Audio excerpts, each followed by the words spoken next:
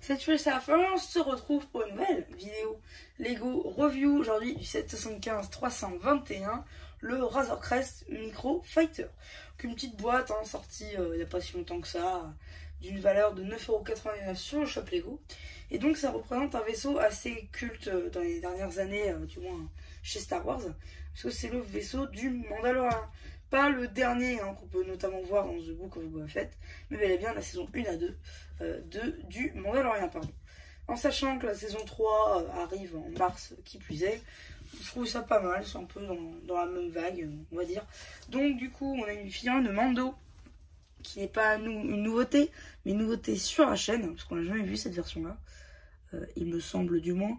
Je crois pas que ce soit la même version hein, que, que les 7 avant.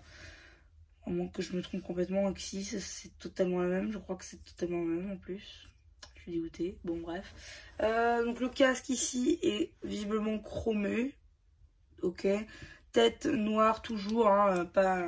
C'était pas à ce set là qu'on allait avoir l'apparition de tête de Jinjarin. Euh, bras imprimés.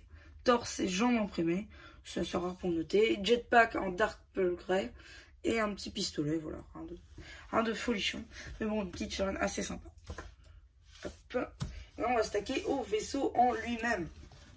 le vaisseau en lui-même, là on a du coup deux euh, lance-stud nouvelle génération juste là. Les réacteurs qui se voient assez bien.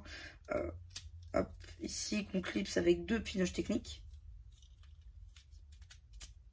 Hop, voilà, là on a la bouche d'aération. Enfin, la bouche d'aération.